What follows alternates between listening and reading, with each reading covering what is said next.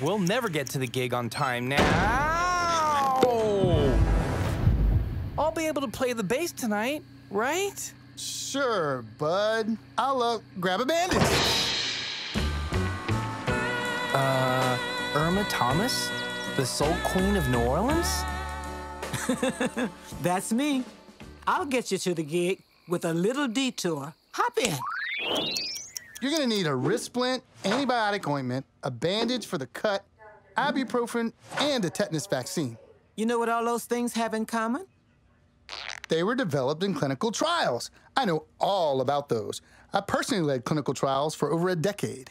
Many folks don't know what clinical trials are or how they work. There's nothing secretive about them. There's about 300,000 trials going on every year.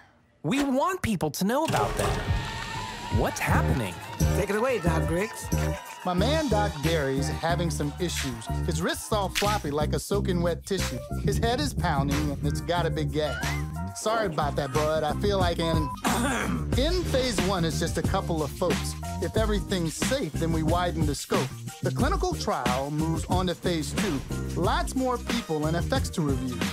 In phase three, there's a bigger collective. Gotta make sure that the treatment's effective. A stamp of approval means we're on to phase four. Checking for effects when you walk out the door. Now here's your new treatment. It's proven and safe. And I can rock out on my super cool bass. Yeah. Hold up. We need to address the elephant in the room. I'm grateful for these medical discoveries, but this country has a dark history of people like me being mistreated by the medical community. Sadly, you're right.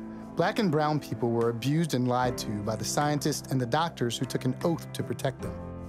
It's little wonder that there's suspicion and mistrust around clinical trials and new medications within communities of color. Absolutely, Miss Irma.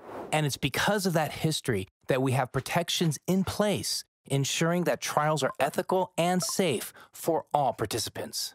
And why public health professionals, scientists, and doctors leading clinical trials are more diverse than ever.